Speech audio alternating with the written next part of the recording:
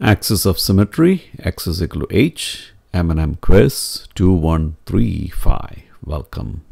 Axis of symmetry for a function when the function is f of x equals ax squared plus bx plus c is the vertical line.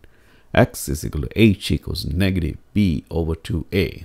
What is the axis of symmetry for the following function?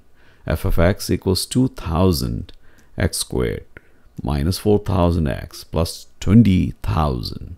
Is it A, h equals negative 1, or is it B, h is equal to positive 1?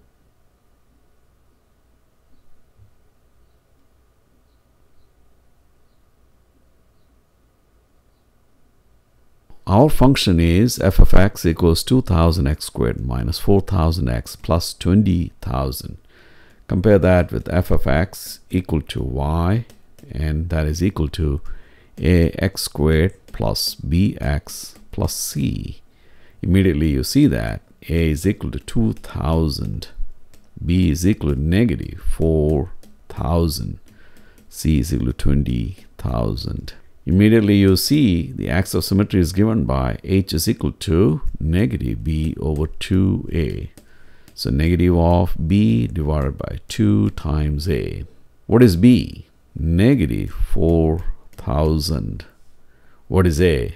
Just 2000 this is nothing but what is negative of negative 4000 positive 4000 and what is 2 times 2000 4000 what is 4000 divided by 4000 1 so x is equal to h is equal to 1 and that is our axis of symmetry. So here is our x is equal to 1 so if you draw a vertical line at x is equal to h is equal to 1 and that's what we have drawn here. X is equal to h is equal to 1 and that is your axis of symmetry. A is equal to 2000 b equals negative 4000 c is equal to 20000 substitute for negative of b over 2a and you have the axis of symmetry.